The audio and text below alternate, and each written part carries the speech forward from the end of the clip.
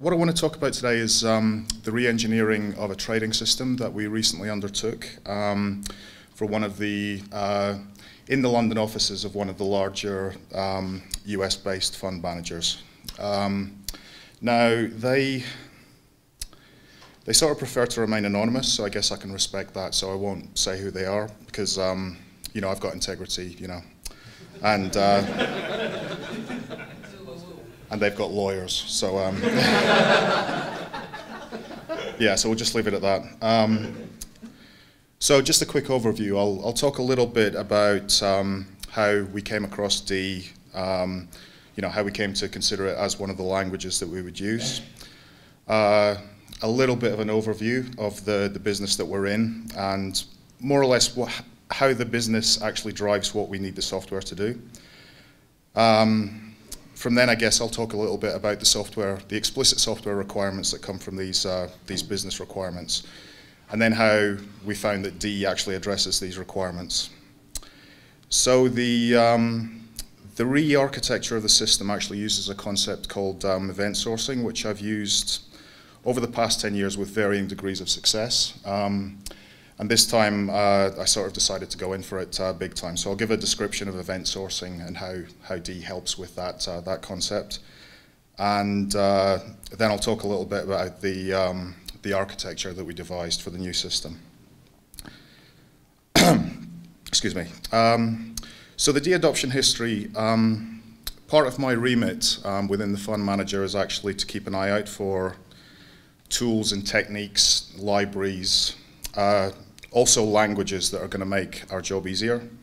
So I think um, I think it was maybe about three years ago. Um, I was in a bookshop in London and I came across. I was looking through the computer languages section and then I found um, the usual suspects were there: C, C++, and um, then I saw D, and then I, I face palmed a little and went, "Oh, really? Somebody's done a language called D." So uh, I took it off the shelf and then I saw who the author was and then um, I instantly went into semi-post-traumatic stress disorder because I remember you know, necking a few bottles of aspirin as I made my way through modern C++ design about 10 years previously. Um, so, so that sort of piqued my interest a little. And then I saw that the, uh, I saw that the language was uh, Walter Bright as well, so also that piqued my interest as well.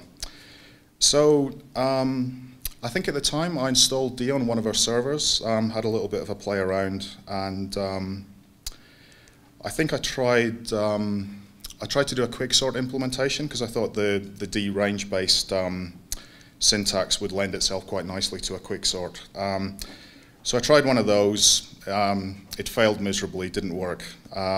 so then I thought, ah, well, you know, it's not going to hurt. I'll just try the community. I'll go into IRC and see if anyone can help me.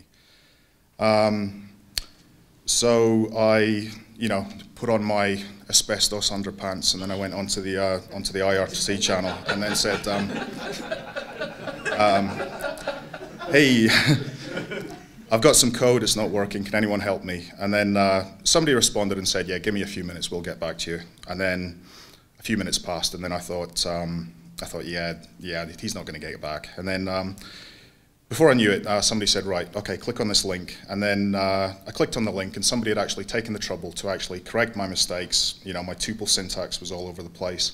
I hadn't imported the right modules, but um, it, it, just, it, you know, it, it, was nice, the fact that somebody had actually taken the time to actually, you know, put in the time to correct an example. So um, that sort of made a, a good impression on me.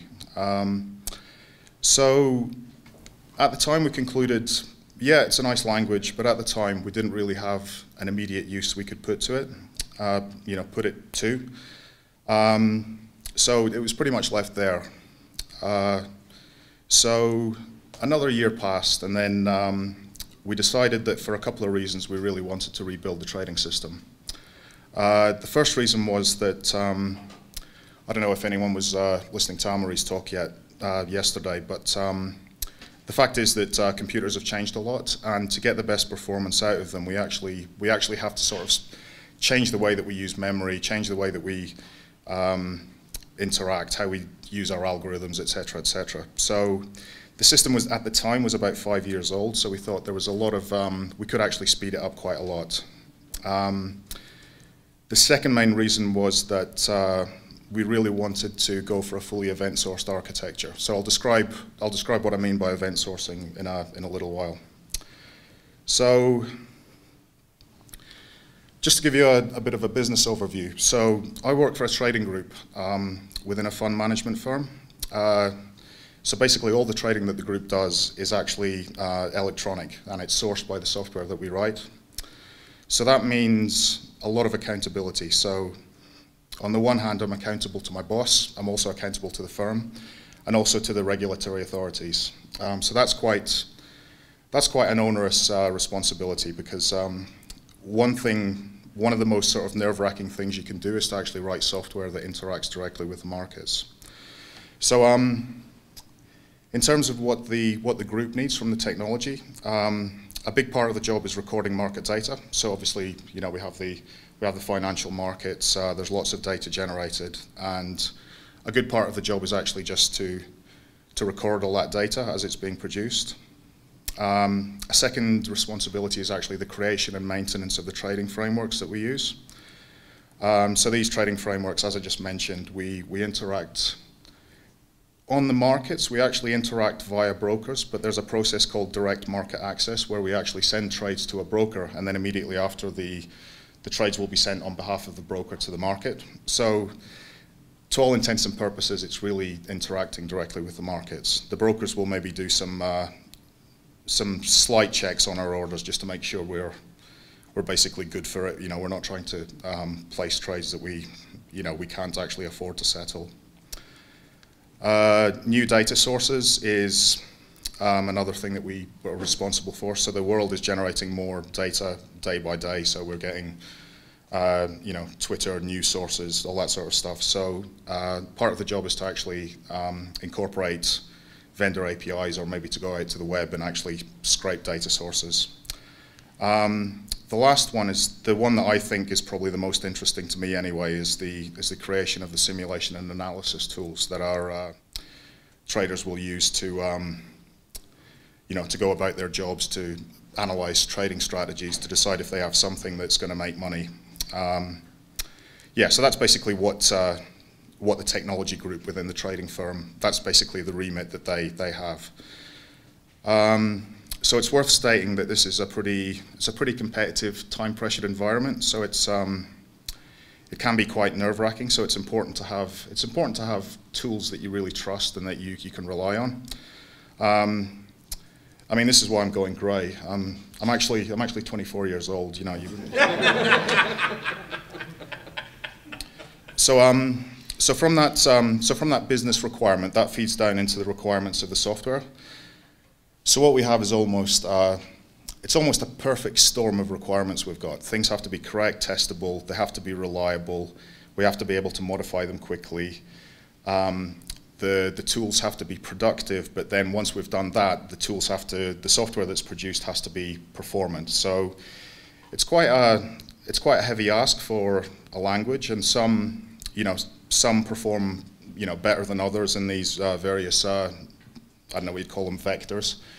Uh, but I think D actually scores quite highly on all of them, um, which is quite unusual because you'll get one language, um, say for example, maybe take Python, uh, very productive, but when it comes down to it, uh, if you try and trade with it in real time, it's not that performant. Um, and uh, personal opinion would be uh, C++ very performant, but being productive in it is, is quite tricky. So I think D sits there, you know, sits in quite a sweet spot where, you know, all of these uh, requirements are satisfied quite well.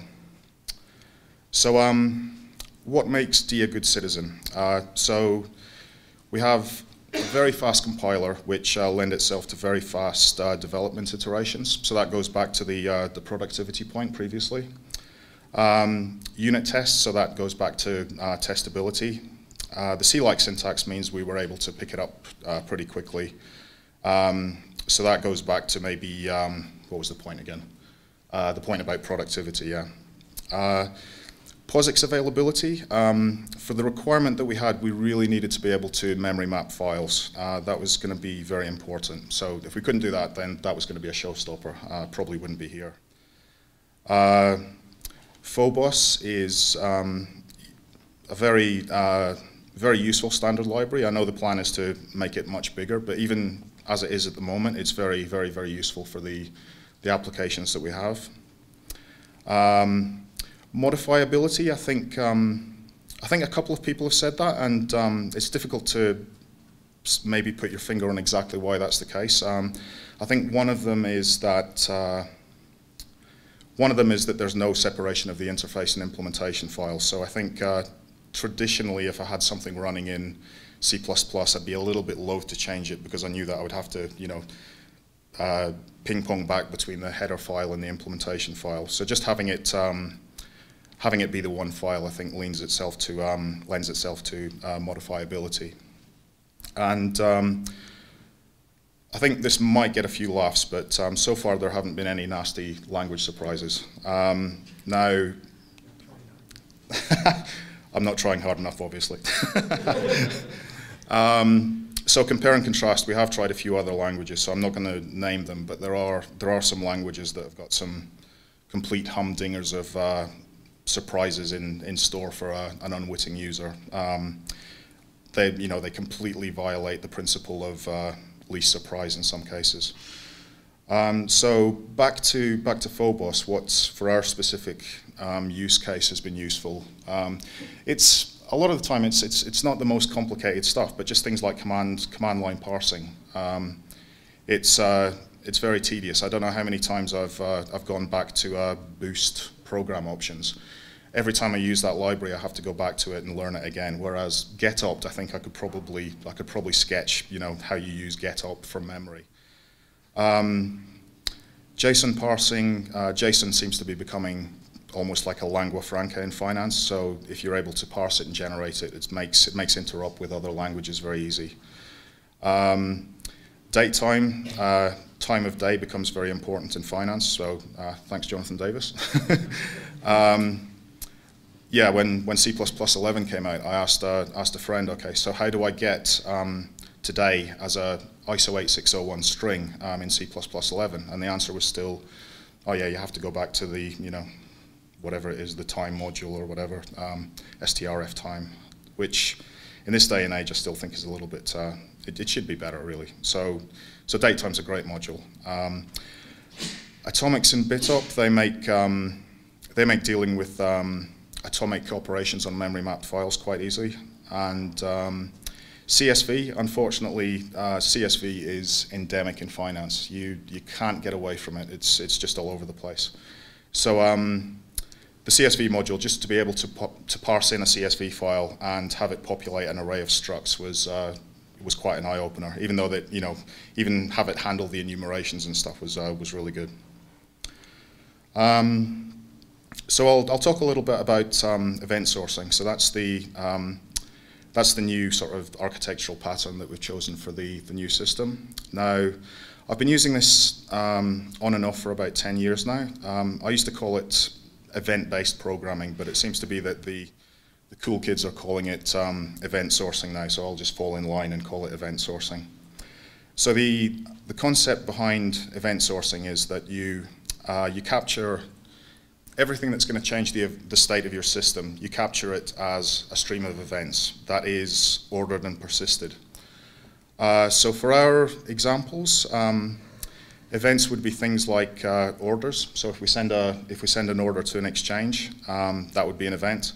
If we receive an event back from an exchange, that would be an event. Um, other things such as uh, um, user actions. So if somebody clicks a button, if somebody changes a text field, basically anything that happens that is going to affect how the system behaves and the outputs it's going to produce, these have to be captured as events or the whole thing just falls apart. Um, another type of event would be heartbeats. So we've got, a, we've got one process that will just uh, inject heartbeats into the system regularly just to keep it uh, ticking over. So um,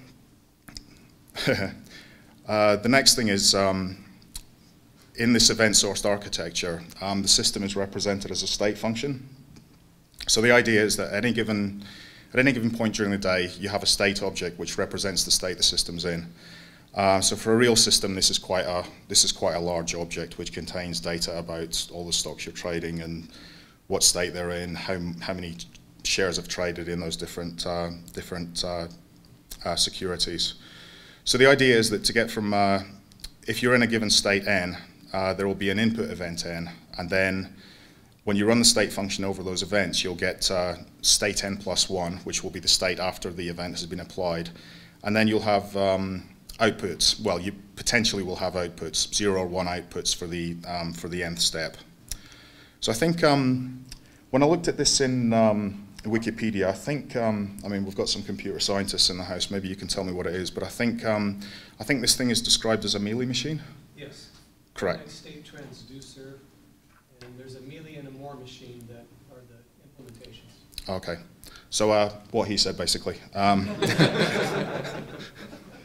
okay, so um, so if we look at the first, uh, the first couple of states that the system goes into, so we have uh, the first three states of the day. So state one depends on the initial state and event zero. Uh, state two depends on state one, event one. And state three, the same.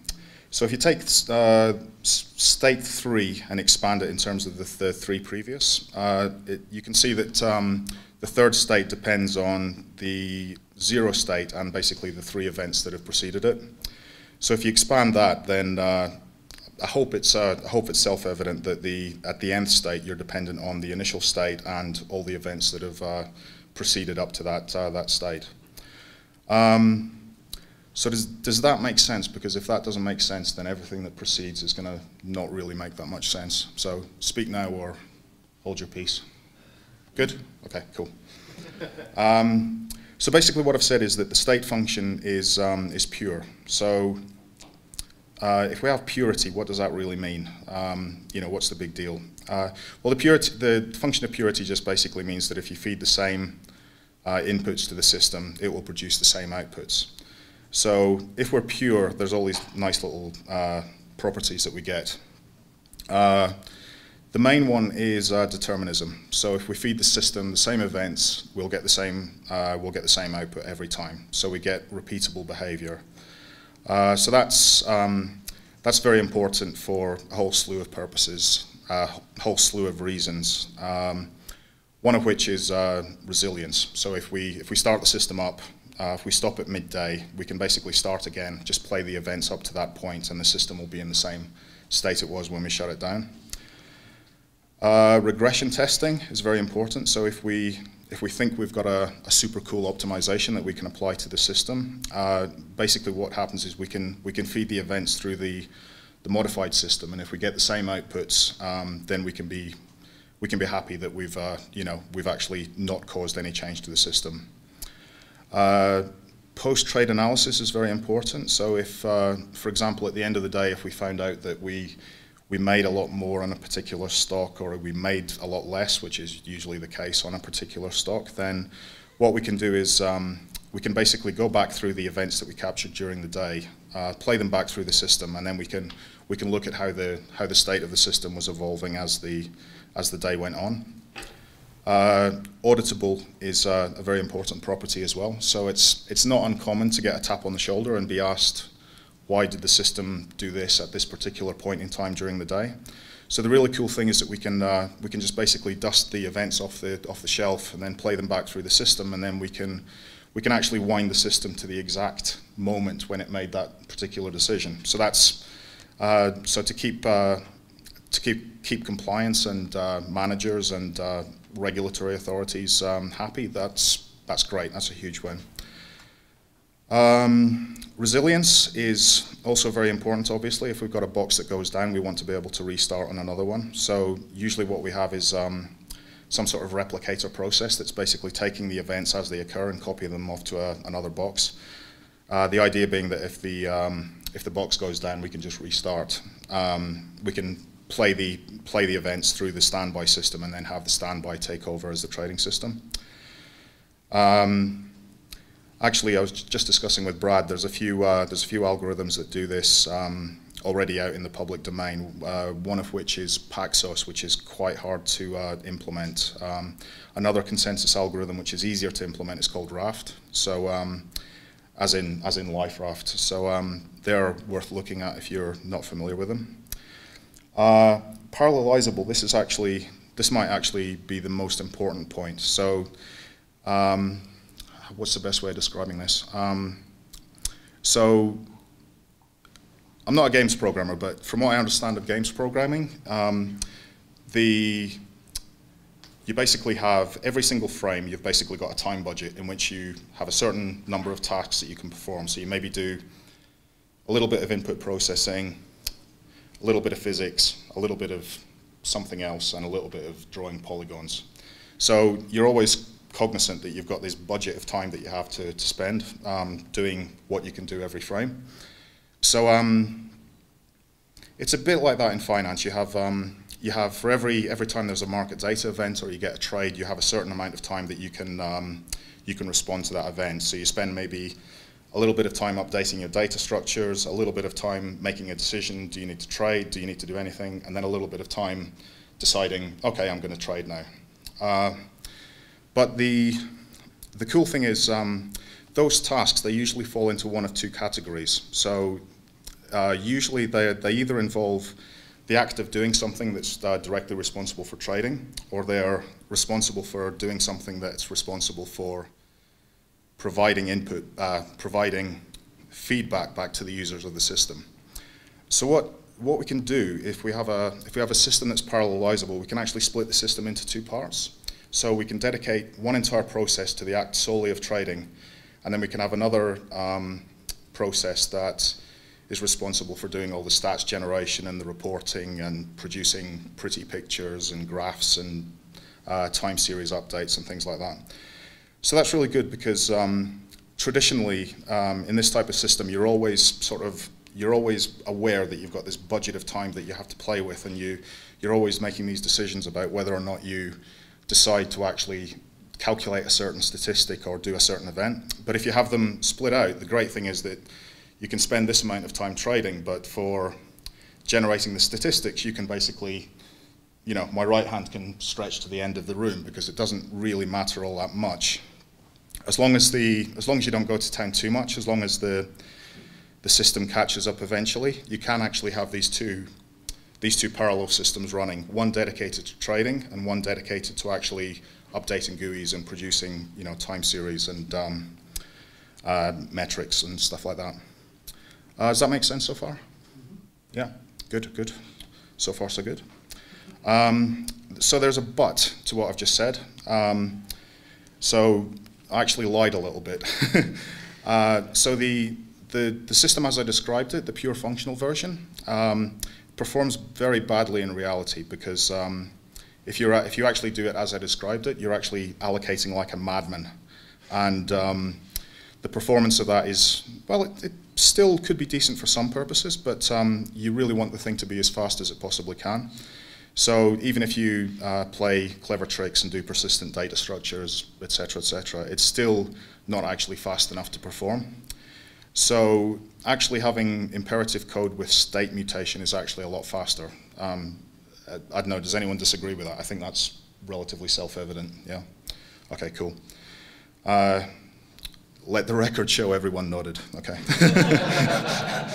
um, so uh, that state mutation model is what we actually have. So we don't have something that produces state n plus 1 from state n. It's actually all in place.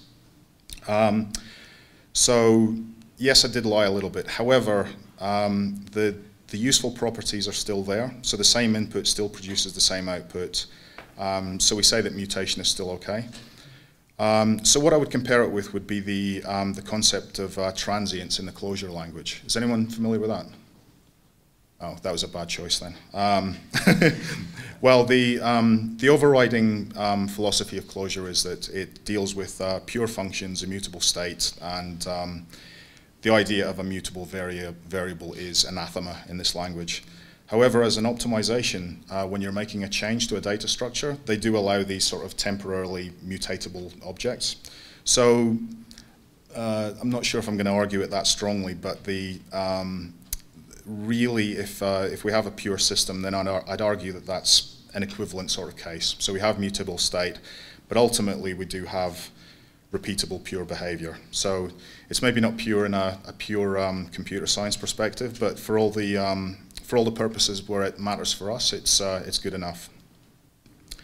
So um, I'll talk a little bit about the architecture of the new system. Uh, so basically what we have is uh, at the core of the system there's basically two layers. So at the, at the center is the business logic, which is basically all the, all the logic that pertains to the act of trading. So updating data structures, deciding whether to trade, keeping track of whether you're making money or losing money.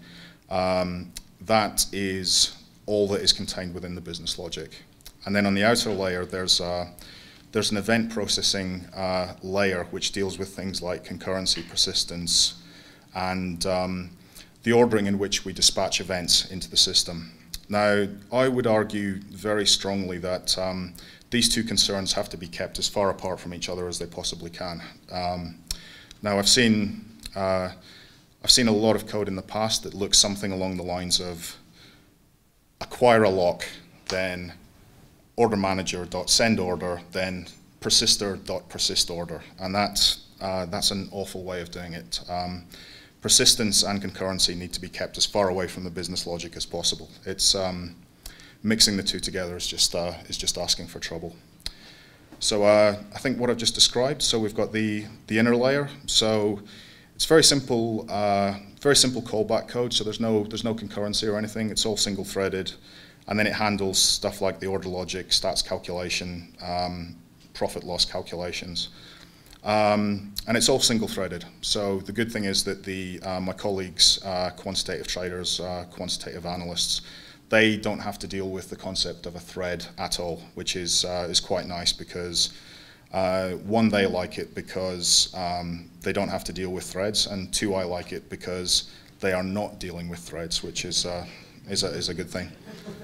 Um, so an interesting, an interesting point is that the, the concept of time is something that you can't, uh, it has to be provided by the framework. So if you think about earlier what I said, if you're playing, if you're playing back a system, you can't actually, you can't actually just go to the wall clock and uh, ask what's the time. So the, uh, the outer layer is actually, it actually has some concept of a chronometer that will provide a time signal to the, um, to the outer layer. So the outer layer, this is, I, I finally mentioned the D language, great. so the outer layer is the part that handles um, all the concurrency and persistence and uh, delivery of events to the, uh, the core of the system. So that's the, this outer layer is implemented in terms of uh, streams. So uh, stream conceptually is uh, an append-only uh, sequence of events, basically. Um, that can be written to and queried at the same time. So at any given point in time, anyone can come along and append to one of these streams. And if you're a consumer of one of these streams, you can, you can basically say, okay, I want to start listening to the stream, but if you so desire, you can go back to any arbitrary point in the stream's past. So that's what makes all this event source stuff possible. Uh, so inside, also inside the, um, the outer layer is an event loop, which is basically, it's just a, a, glorified thread whose sole purpose in life is to, is to loop over streams and decide which event has to be dispatched next to the, to the business logic. Um, an important point as well is that as these, as these things get, um, as these things get fired, the, the outer layer actually persists the act of firing the event so that uh, when we start up next time, the events will fire in the same, the same order that they were previously. Um, that makes sense so far? Any questions or? No? Okay. Still, still good. Okay. Um, so this is the uh, this is a conceptual diagram of the the live trading system uh, as we have it. Uh, so there are basically three inbound streams um, in order of uh, number of events per day. So the the main one is the um, is the market. So we get round about um, 250 million events on this thing uh, every day. Uh, the execution stream is um, is basically the the events that we get back from our brokers. So that's a bit more sedate. So we get uh, something of several hundred thousand uh, events on this guy every day. Um, so the sources of these, the, the first stream is sourced from the market. Uh, the second one is from our uh, brokers ultimately. Um, the third one, I think I was in a bad mood when I wrote it. I've, uh, I've said that the third source is basically carbon units. So that's uh, people, exactly. Defective carbon units. uh, so that's... Um, uh, so that's basically uh, people that are using the system, generating mouse clicks, uh, making events, etc., so etc. Well, from from one perspective, you could yeah. look at them. Yeah, you can. Okay. Um, okay, I've lost my thought now. Um, okay, so basically, the the main event loop basically decides uh, in the in the live system. He's basically pulling events off these streams as quickly as he can, and he's uh, persisting the order that they were uh, persisted in. Now, if uh, at any given point during the course of firing an event we decide that we want to trade, then there's, a, there's also an outbound uh, stream on which uh, the order will get placed. And then that will get picked up by a process that will, will, then, send the, um, will then send that order onto the broker. Uh, so this, um, this const at the bottom is, uh, is what we've called the consensus queue. So this is the one that we uh, consensus queue stroke stream. So this is the one that persists the, um, the ordering that we've actually fired events in. Uh, I better gloss over it, but basically this guy ensures that uh, when we start up again, we fire the events in the same order that they were received. Uh, simulation is, um, is another type of event loop, but that, that sources its data entirely from a, historic market data stream. Um, and we use this uh, we have a simulator which uh, pretends to send us um, uh, fills back when we send pretend orders. Now these, um, these two uh, circular structures here, they're not actually streams, they're just, um, uh, they're just in-memory ring buffers that are used as a, a, delay line effectively. So we use these things to model, to model the, light, the latency between ourselves and our brokers. So, um, question I'm sure you're asking, I've been wittering on for half an hour and I haven't actually mentioned D yet. So question on everyone's lips, where is D used? so basically the pieces, in, oh, sorry. Uh, the pieces in red are basically all D. So the, the idea is that we have uh, various APIs that are provided to us and they need to have C linkage to get the, the best use out of them. So what happens is in the market data case, we have a, a D process that connects to a C API, uh, pulls data from the API, and then uh, applies uh, events to the, the market data stream. Now, the, the, central, uh, the central event loop is actually a Java Scala process. Mr. Bright. Uh, we're working on turning the carbon units into D as well. yeah, that's the one piece I couldn't get into D, yeah. uh, Okay, so uh, lost my train of thought now. Okay, Car carbon units. Uh, okay, so yeah. Okay, so uh, why why there and not why didn't we replace the carbon units as well? Um, so there's a requirement to use these streams. We need two things. We need to have uh, C linkage and we need to have uh, the ability to memory map files. So the previous system used uh, JNI. Uh, I think it was uh, vendor-provided JNI libraries we used, but we wanted to get this thing as fast as we possibly could. So really, the, um, the, the JNI bindings are really just a bit of an afterthought that have been cobbled onto the um, cobbled onto the C API. So if you want to if you want to use it optimally, you really have to go for the um, the C the C route. Uh, so that was one of the things that I remembered was that uh, D had C linkage, so we could use that. Um, we could actually use D to to interact with these APIs, and instead of having to use C, we could use a nice, uh, you know, a nice expressive language like uh, like D. So what we found was that uh, D with C linkage and being able to memory map, we it actually killed two birds with one stone. So we could um, uh, we could actually uh, take data from the API and put it into these into these streams. Now, the original intention, as I stated it, was that we would, uh, we would use D only as a prototype language. We would just use it to, to get something up and running quickly. And then once we had it up and running, we would do it in a real language such as C or C++. um, but um, when it was up and running, I was, um, I was happy enough with it, and the team was happy enough with it, that uh, we just decided to stick with it. We had, we had enough things in our issue tracker. There were around about 800 other things most of which I would consider to be more important than going back and rewriting this thing in uh, C or C++. So uh, that's what we did. We just stuck with the D version, and uh, it's performing fine. Um, so I'll uh, question. okay. So I'll uh, talk a little bit about the stream abstraction. Um, there are there were basically two candidates for how we would represent these streams. Um, so I'll give a little bit of credit to um, two guys in the Java space that have sort of uh, they've done a really good job of uh, popularizing these concepts. So we've got Martin Thompson and uh, my ex-colleague Pete Lawrey. Um, so I would say that this work uh, borrows heavily from the work that they've done, but in truth, that's that's a bit dishonest because the reality is this is just straight theft of their work. um, it's really just a, um, largely the concepts are basically theirs, and this is just a, a transliteration of uh, the work they've done into, into D.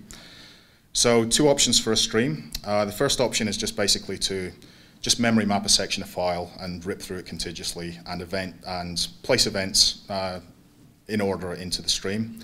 Um, and then once you've populated an event, you would maybe uh, you would populate some member of the struct to inform the, the reader that the that event was indeed available for consumption. Um, so that's got a couple of advantages. It's very it's very simple. It's just a straight mmap call. Um, in Java land, it's a little bit more complicated because you can only map um, an integer chunk at a time, but we won't concern ourselves with that because this is a D talk. Um, so it's this structure is quite uh, quite friendly to a lot of another a lot of other analysis tools like uh, like NumPy for example. So if you've got one of these contiguous structures, you can just memory map it and start graphing and analyzing. Um, the downside is it's not too um, it's not too friendly on the memory subsystem. So you get uh, you get page faults as you you know as you stream along. You you'll go off the end of a page, and then the page will have to be you know paged in from the, the memory system. So it's not great in that respect because it can cause delays. Um, the other one is that it's uh, it's bounded, so um, you can, if you underestimate the amount of uh, events you're going to have, which I did a few times, they can actually run out. So it's not great in that respect. Um, a better option is to use um, a circular array, which is uh, a little bit less simple, but it tends to be more cache friendly. And um, another one disadvantage is that uh, Obviously, you loop around the ring buffer, you lose all the events that you've had previously. So you have to have some sort of uh, journal off to the side of the events that you've, uh, you've retired. So what that looks like um, in practice is um, the stream has, the, the current one, the, the latest fancy one, has uh, multiple readers and multiple writers. So the idea is that everyone is sort of going clockwise around this, uh, this buffer. Uh, writers append to the tail of the queue, which is maybe a little bit counterintuitive and uh, the readers actually read from the head.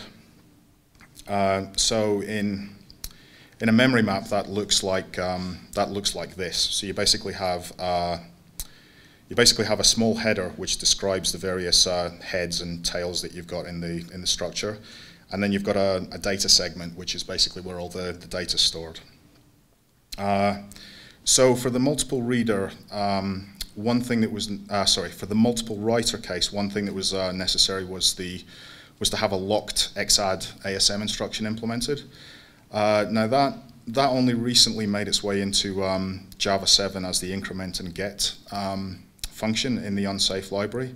Now, as as I wrote this, we didn't have the the complete atomic thing in Phobos. It might have been it might have been pulled and it might be there um, now, but at the time um, it wasn't in. And and I thought that was that was a good um, that was a good example. I mean, if you're a if you're a C guy, then you go, well, it's just inline ASM. What's the big deal? But um, if you're stuck in Java land, the ability to the ability to actually handcraft your own um, assembly, if the language doesn't support it natively, is actually is actually quite a big deal. Um, so I think this is a this is a steal from uh, Martin Nowak. So I was I was hoping to thank him for for doing it, but obviously he's not here. So if he's I don't know if he's online, but uh, thank you, Martin. Yeah. Um, so the uh, I'll maybe uh, just gloss over a few slides. I'm a bit cognizant I'm running out of time. So we have uh, this is basically the the code for the uh, the writer. So the idea is that when you want to write a slot, there's uh, basically two there's two processes involved. So you basically have to reserve a slot uh, then you'll get back uh, a T star, where T is the, the payload of the of the ring buffer. And then once you're uh, once you're satisfied that uh, you've stopped playing with the data, then you call commit. And then when when that happens, the uh, the the algorithm caches the uh, the new tail value that you're um, you're applying into the into the buffer, uh, into the into the header of the the section.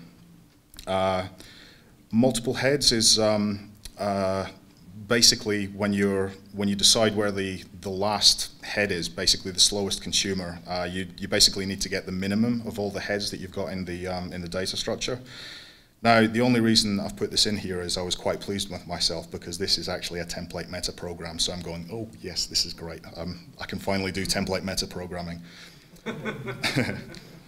um, now, um, Amaury mentioned yesterday that in Java land, uh, one thing that you have to do is to actually pad your structures to avoid uh, false sharing. So this was a this was my stab at avoiding it in D. So uh, there's a, a, template called a padded, which is parameterized on the type that you want to stick into the shared memory section. So basically all this does is take, uh, is take a primitive and just pads um, enough structure around the side of it uh, in order to avoid false sharing.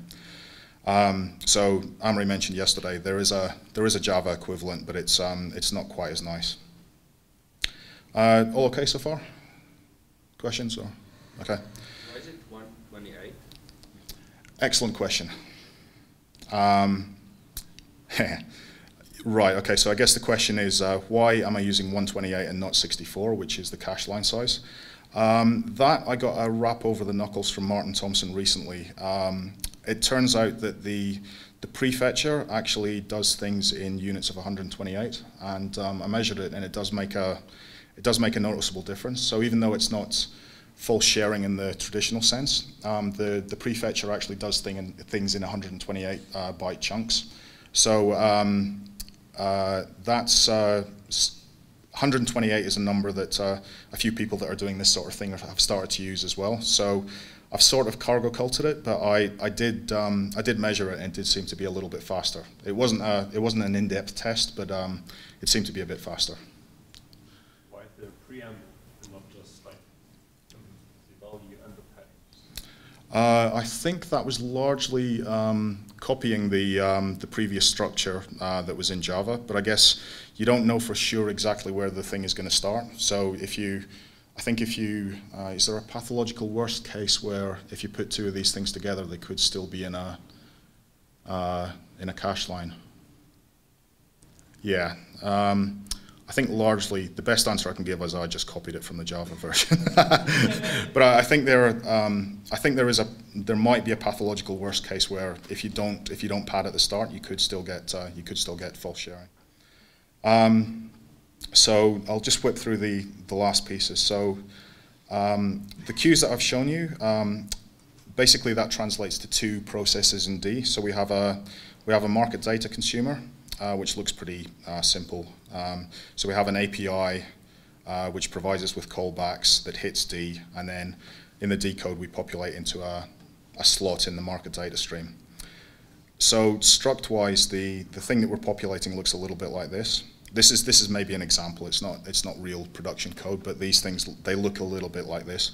So you'll have some sort of uh, integer at the start of the message saying what the what message type you're actually dealing with, and then the security ID will uh, basically say will be an integer uh, describing which uh, security you're looking at. So you'll have different values for you know Apple or Cisco or whatever. Um, so um, the main point there is that it's not really it's not really that it's a struct. It's more to get a certain alignment in the the buffer, because ultimately it's um, it's a Java process that's consuming this thing.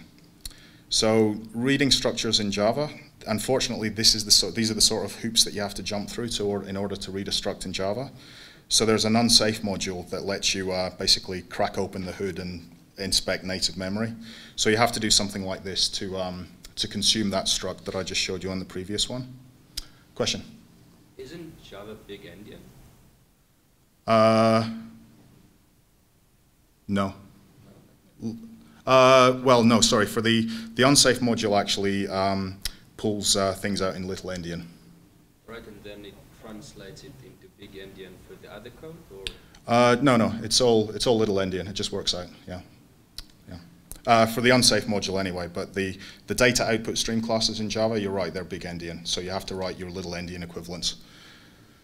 Just um, don't don't forget to repeat questions or guys Uh, come to the microphone. Okay, sorry. So the, the question was, um, uh, isn't uh, isn't Java big endian? But uh, for this for this particular class, it behaves. It, you get little endian um, ordering. Thanks. um, so I'll plow on. I've only got five minutes left, but um, the the idea is that this is something that you don't want to write. Well, maybe the first time you write it, you think you're being. uh, No, actually, it's, it's not even fun the first time you write it. Actually. um, so. Um, so one of the facilities that D has, the compile time uh, introspection. Uh, so basically, I've written a little thing that will, uh, for the BIDAS change um, struct that I showed you earlier, it will actually introspect into the um, introspect into the struct and show the names and the types and the offsets of the, the various uh, members of the struct. So when I run that thing, I get something that looks a little bit like that, like this. Um, so I don't have the um, I don't have the code from the project here, but um, take it on good faith. That is enough to actually do a bit of string manipulation and actually generate um, the entire Java class that I just showed you. So that was that's been that's been great because at the at the 11th hour it turned out that uh, a few other event types showed up that we didn't have uh, mappings for. So to be able to feed these things through and have the code gen, you know, automatically generate the struct and not have you know human error carbon units involved with the process um, was very useful. Uh, so that's the, the first process using D. The second one is um, the electronic trading part. So basically the part that takes uh, orders and sends them off to our brokers and receives messages back from the broker. So conceptually it looks a little bit like this. So the, the D gateway uh, consumes events from the outbound queue and then from there it generates a, a string which it then uses to call into the API, into the trading API. So what will happen is that the, the API will receive that string, send it off somewhere, the, the market will respond and send an event back, and then the API will then call us back. Um, and then on another thread, uh, we'll receive a string which will then get parsed into uh, a data structure on the, the inbound stream. So the good thing is that the, um, on the trading side, we don't have to deal with any of the nastiness of the, the string API that we're using. And the, the structures that we have on our streams are actually nice and easily consumable by the, um, uh, by the, by the trading system. So trading API, uh, so it's relatively straightforward. It does two things. So it turns um, outbound structs to strings and then turns inbound strings to structs. Um, and then we've got uh, one thread dedicated to each, and uh, there's uh, no sharing of anything between those two threads, so there's no contention. Everything can just uh, everything can just proceed at full speed. Um, the protocol that we use, the protocol that we have to generate the strings in, is uh, is FIX, which is a truly awful protocol that has been sort of uh, mandated to the financial industry. Um, uh, I won't go into in too much detail about it, but um, suffice to say that uh, in order to deal with this protocol, um, we had to drop down to old school C-style string processing, uh, which uh, D was more than capable of. Um, so I think I, I'm at 48 minutes, I think, so I better, uh, better wrap up. So in conclusion, um, yeah, D, uh, very useful addition to the toolbox. Um, uh, it was definitely worth it to go ahead with an adoption. And I think the project was completed much faster than we could have done if we'd gone for the safe option and just, uh, you know, just stuck with uh, C or C++. And um, my feeling is um, uh, D's definitely got a niche in finance that I think is just ripe to be exploited. Uh, so I think that's me pretty much done, actually. I'm just in at 49 minutes. Um, yeah, I'm done. questions? We have uh, four minutes for questions.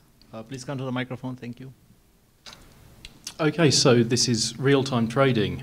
What sort of um, latency do you need in terms of reaction time between an event coming in and a reaction going out? Right. And how um, how do your mem mem what memory management strategies do you need to use to get that?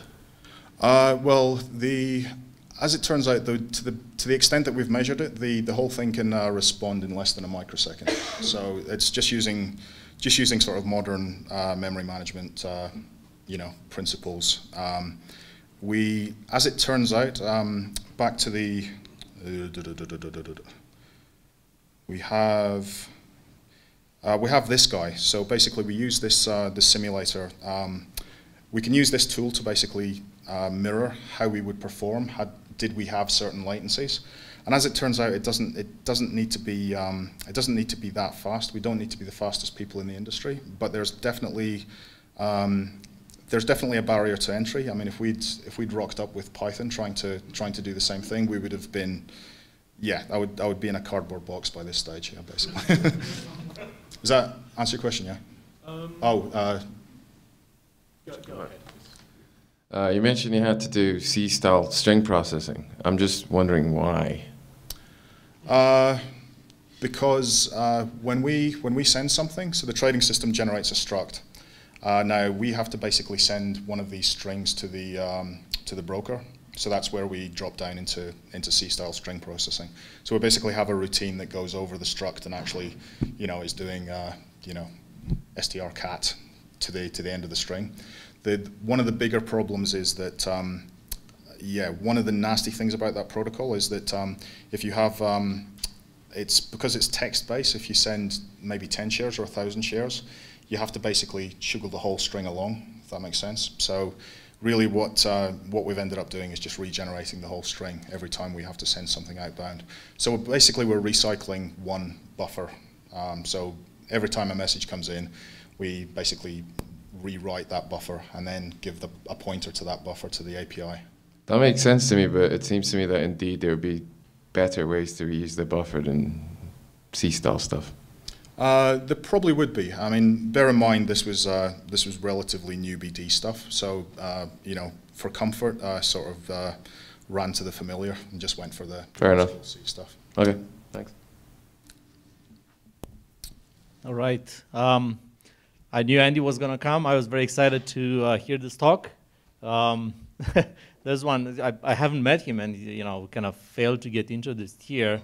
So I was actually looking for the nice shoes, thinking that, you know, he's a hedge fund guy and, you know, he's, but apparently he's wearing sneakers, so, so am I. So he's just like us. So this was a great combination of, um, science and math, and you know, I love a slide with a bit of LaTeX on it and kind of mathy stuff. So, um, very many thanks to Andy. Thank you.